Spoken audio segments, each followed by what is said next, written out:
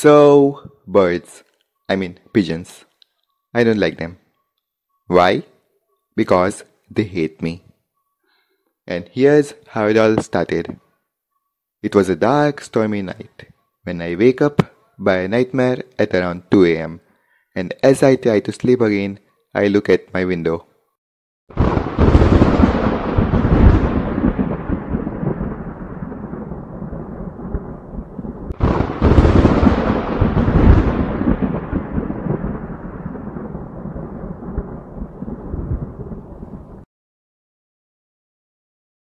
So now there was a crazy, aggressive bird flying around in my room. I grab my phone and run towards the door. As I was about to open it, the bird tackles my phone. It drops and the screen gets cracked. I pick up the phone and get out of the room. And that is how a pigeon took over my room.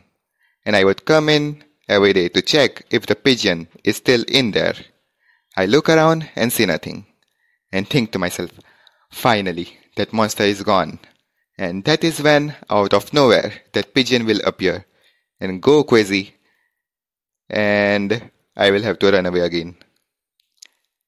And that went on for a week until it was again in its crazy aggressive mode and it accidentally flew out of the window. And I closed the window and didn't open it for at least 15 days.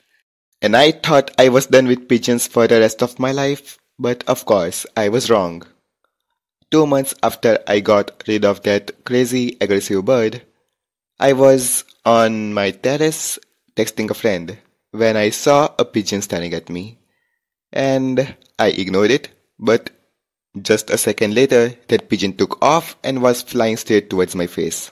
But suddenly, the bird changed its direction and crash landed on my phone.